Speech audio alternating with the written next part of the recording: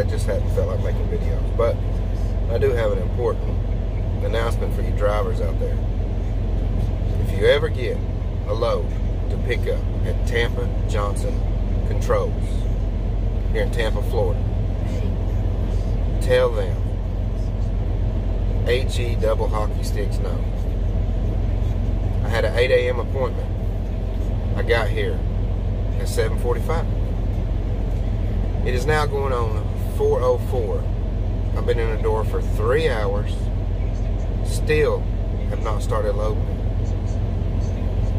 I made up my clock. It's crazy.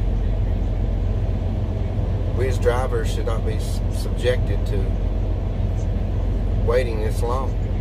Yeah, I mean, I'm going to get some detention, layover, blah, blah, blah, whatever. But this freight in Florida is ridiculous.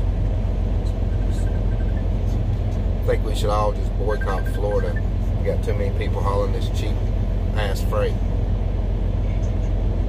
But you can see, Rascal.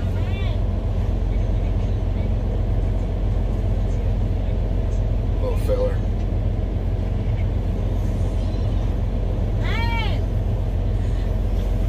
Anyway, guys, thought I'd check in and tell you about the bad experience I'm having here at this place. So remember, like, share, subscribe. Hopefully I'll see you guys again soon. See ya.